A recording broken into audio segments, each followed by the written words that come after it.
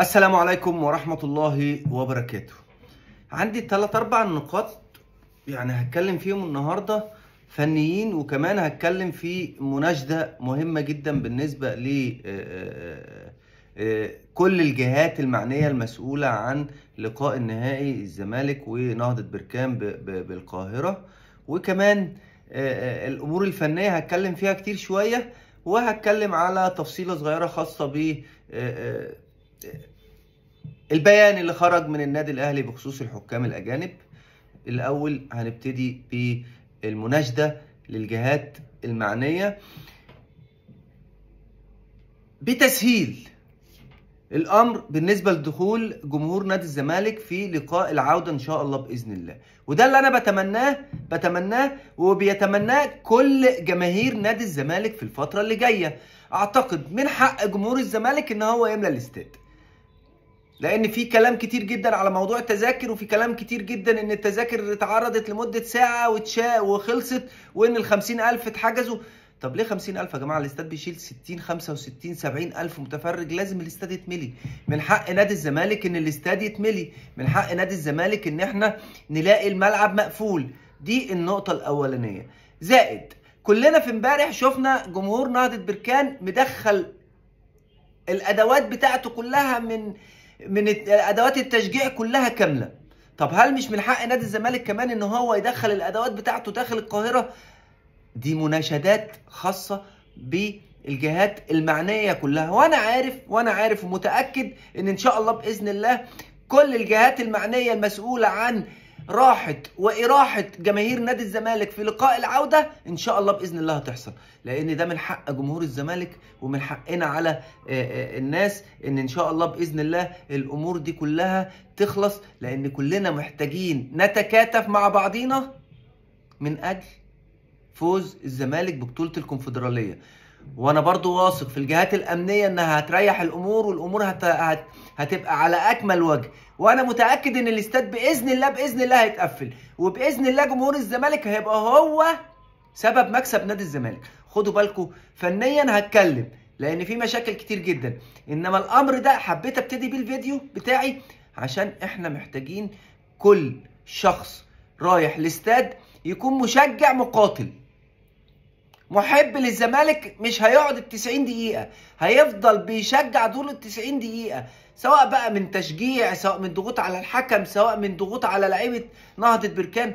ما ينفعش البطولة دي تخش تخش القاهرة وتطلع على المغرب. لا إن شاء الله تبقى في القاهرة. وإن شاء الله بإذن الله الزمالك يفوز ببطولة الكونفدرالية. لأني بصراحة بصراحة. وأنا امبارح فوجئت بمستوى فرقة نهضة بركان المهزوز. مستوى مش مستوى جامد قوي. يعني مش مش هم الفرقة اللي تخوف فرقة الزمالك. لا إحنا اللي غلط. جوزيه جوميز هو اللي غلط. جوزيه جوميز ابتدى الماتش غلط. وهنا هبتدي اتكلم عن الفنيات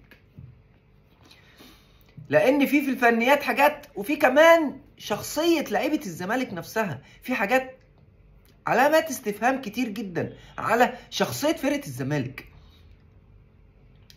إزاي أنا كمدير فني أبتدي جيم أبتدي جيم بشكل ممكن يأخرني يأخرني ويخليني أبقى مغلوب أول الشوط الأولاني في أول نص ساعة 2-0 أنت عارف إن ممكن البطولة كانت ممكن تروح منك؟ أنت عارف لا قدر الله لو استقبلت الجون الثالث كانت الأمر اتحسم؟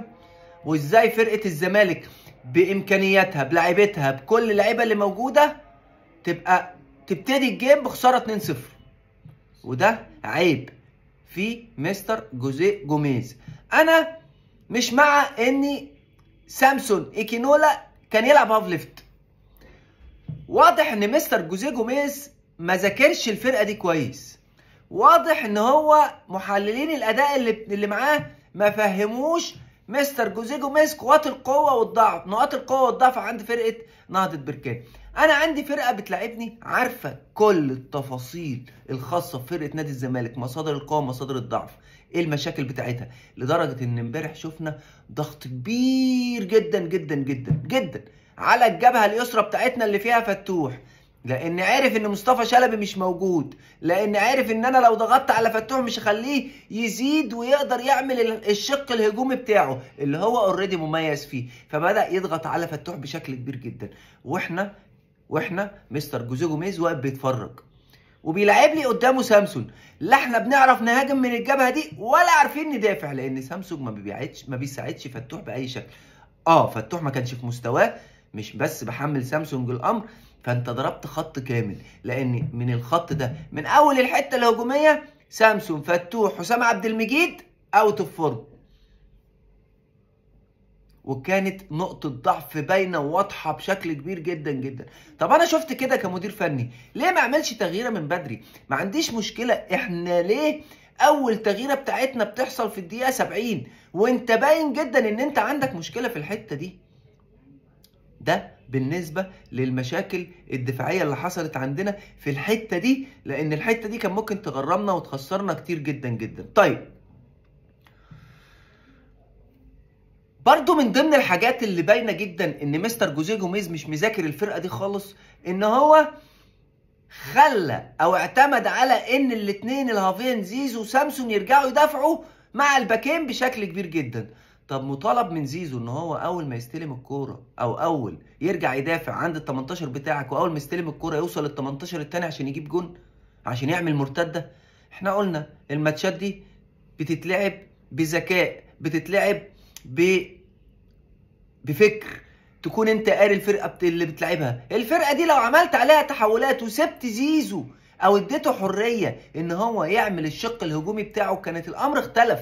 انما انت بتطالبه ان هو يرجع 100 متر رايح جاي هجومي ودفاعي عشان خاطر يدافع ويرجع يتحول هجوميا ويوصل للحتة دي بشكل قوي ويعرف يجيب جون. صعب جدا جدا جدا جدا. يعني الكلام ده يا جماعة ما بيحصلش. ما بيحصلش وما كانش هيحصل. وما كانش هيحصل. لأن واضح تاني وتالت ورابع إن جوميز ما كانش مذاكر الفرقة دي. كان إيه المانع لو لعبنا بثلاثه في نص الملعب كلهم عندهم الشق الدفاعي ويقدروا يغطوا في ظهر الهافين واديت حرية للهافين دول إن هم يهاجموا؟ حتى في الحالة الهجومية فتوح هيلاقي حد يسند عليه قدامه من الهافين الاثنين التمانيتين. آه نفس الكلام عمر جابر. هيبقى زيزو مستريح في الحتة الهجومية وعمر جابر يديله يحاول. يطلع معاه يهاجم هيبقى في حد بيدافع وراهم الاثنين يا جماعة هو ده. نص ملعبنا الشوط الأولاني وحش جدا جدا جدا. لأن الثلاثه فيهم واحد أحمد حمدي. هو كان من اللعيبة المميزة. إنما في الشوط الثاني بس كمان أحمد حمدي من اللعيبة اللي عايزة تهاجم اللي عايزة تستلم الكرة وتطلع تهاجم. عشان تكلفه بواجبات دفاعية كتير تعب. تعب وفي الآخر الراجل قام عامل كارثة. دونجا اتصاب أو حصل عنده شد. أقوم ساعد دونجا ورامي ناصر منسي ومخلي حمدي بيلعب ديفندر ستة جنب محمد شحاته طب هل ده كلام يا جماعة؟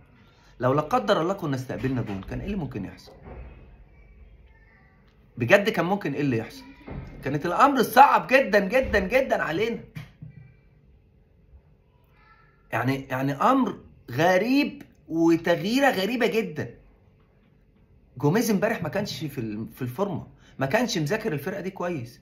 إحنا ربنا سبحانه وتعالى كرمنا بالجون بتاع الجزيري ده لأن الكرة الأولانية بتاعت فتوح اللي عملها للجزيري كان لازم تبقى جون. هي دي الكرة الوحيدة اللي اتلعبت بشكل كويس. تخيل أنت بتلعب 90 دقيقة.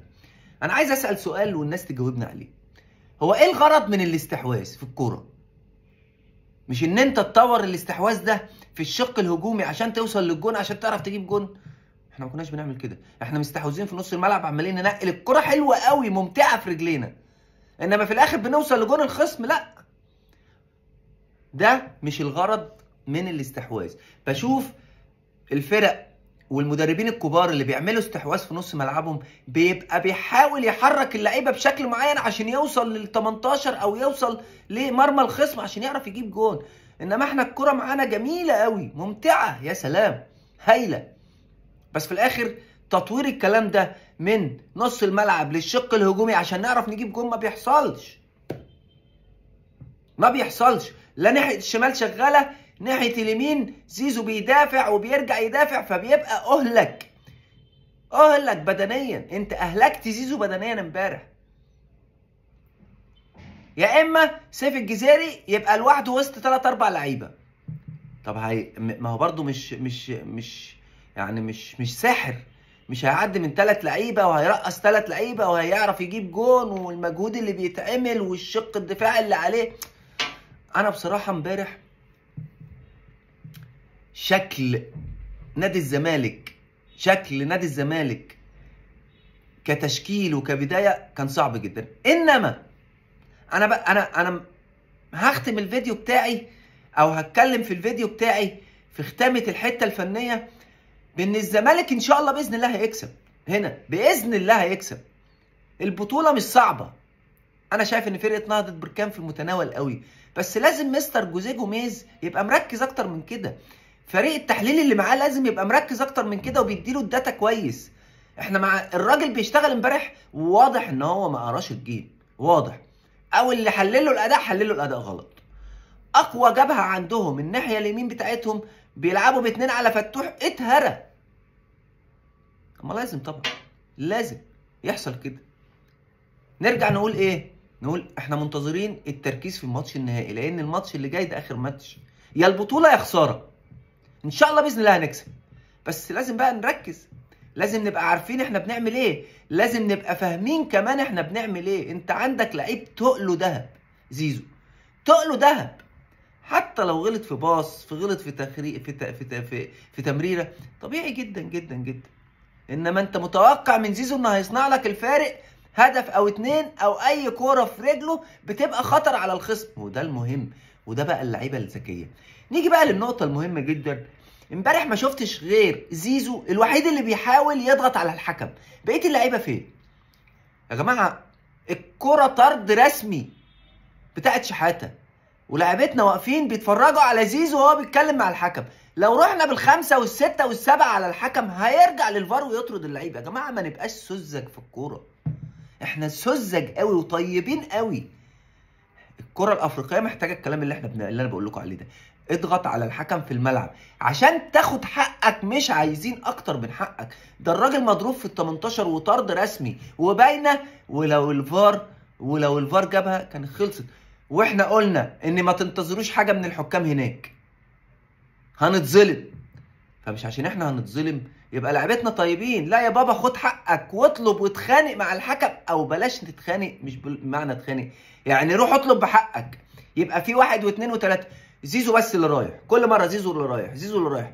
طب لو زيزو خد انذار طب لو الراجل عاند مع الراجل مع زيزو وطرده مين الخسران؟ إحنا في سذاجة كبيرة جدا جدا جدا عند لعيبتنا أو طفولة كروية. عندهم طفولة كروية. لا. يا جماعة في إيه؟ في إيه لازم نبقى أكبر من كده وأذكى من كده ولازم نضغط. الجهاز الفني كان لازم يضغط على الحكم الرابع ويروح يقول له بص على الفار في الكرة دي ده طرد. ما نسيبش الأمور كده. أنت كان عندك فرصة امبارح إن تلعب نص ساعة الفرقة دي ناقصة. وأنت ضيعتها من إيدك. أتمنى إن زياد كمال يبقى حل بالنسبة لمستر جوميز في الفترة اللي جاية لأن من أول كام ماتش تحسوا إن لسه ما اداش كل اللي عنده. إنما يا جماعة أنا بقول لكم تاني وتالت ورابع زياد كمال ده في نص الملعب يبقى حاجة تاني. مهم جدا الماتش اللي هنا نعتمد على النوعية دي اللي بتعرف تدافع وبتعرف تعمل ال pass لقدام. ده لعيب بيعرف يعمل ال pass وهتريح زيزو وهتريح ال half اللي هيلعب الناحية الثانية وهتريح سيف الجزيري. مش هتخليهم يرجعوا مسافة كبيرة. محتاجين نوعية اللعيبة اللي بتعرف تقطع الكورة وبتضغط بقوة وبتحاول تجيب ممكن يجرب في شوط اللعيبة اللي بتصوب. كل الكلام ده متاح قدامك. متاح قدامك. بس انت لازم تبقى فاهم انت بتعمل إيه. وشغال مركز في الجيم. الوحيد اللي بجد اللعيبة مركزة. اللعيبة مركزة. عيش حتى كان كويس. آه المسلوسي عمر جابر آه حمدي الشوط الثاني سيف الجزيري زيزو طبعا. في ناس دونجا لحد ما مش وحش. إنما يا جماعة لا إحنا عايزين بقى نشتغل كتيم. وبلاش الاستحواذ السلبي وبلاش ال ال الأمور الصبيانية اللي إحنا بنضيع بيها طرد ممكن لعيب فاولات محدش بيروح يتكلم آه، تحجيم الماتش من الحكم وانت مش رايح تتكلم معاه ولا رايح تاخد حقك منه. كل الكلام ده كله لازم يتعمل في ماتش النهائي وإن شاء الله بإذن الله بأمر الله أنا آخر مرة في الموضوع ده هتكلم النهارده وحبيت بس أطلع الشحنة اللي جوايا من امبارح في ال- الفيديو ده إنما من بكرة إن شاء الله بإذن الله هنبتدي الدعم كامل. للفرقة. هنبتدي دعم المستر جوميز بس لازم نبص لأخطائنا لازم نتفرج على غلطاتنا عشان ما تتكررش عشان ما تتكررش. ما ينفعش نادي الزمالك باسمه بمكانته بتاريخه يبقى بالسذاجة دي. تعليق أخير. وده تعليق مهم جدا جدا جدا. النادي الأهلي كتب بيان وعايز حكام أجانب لماتشات الدوري. ونبصم بالعشر معاكم. يا ريت والنبي يا ريت دوسوا في الموضوع ده تاني. أتمنى إن النادي الأهلي يدوس في الموضوع ده تاني ويجيب حكام أجانب. عارف؟ لو عملت كده تبقى بطل. تبقى بطل. كنادي الأهلي إن أنت تطلب حكام أجانب لماتشاتك. كده أعرف إن الزمالك ممكن وبيراميدز أي فرقة منهم تاخد الدوري. لأن إحنا أصلا إحنا أصلا أكتر ناس بتتظلم من التحكيم. أكتر ناس ما بناخدش حقنا في من التحكيم. وكان في ناس أهلاوية زعلانة إن إحنا كتبنا بيان وبيقول لك الزمالك بيشتكي ومش الزمالك بيشتكي. ماتش البلدية خلص إزاي؟ كرة فاول باينة جدا في آخر دقيقة والراجل لعب 115 دقيقة لحد ما النادي الأهلي يكسب. يا رب الحكام تبقى أجانب بالنسبة لماتشات النادي الأهلي. نتمنى ده بشكل قوي جدا. يا رب إن شاء الله بإذن الله يوفق نادي الزمالك ويحصل على بطولة الكونفدرالية ولاعبتنا يبقوا رجالة في الماتش الأخير يوم الأحد. الاستاد هيبقى مليان. محتاجين منكم رجولة محتاجين منكم قتال محتاجين منكم البطولة. عايزين الجمهور يفرح من حق جمهور الزمالك يفرح اللي بيروح وراكم في كل حتة. من هنا الفيديو بتاعنا بيخلص. كل التحية ليكم وكل الشكر ليكم. والسلام عليكم ورحمة الله وبركاته.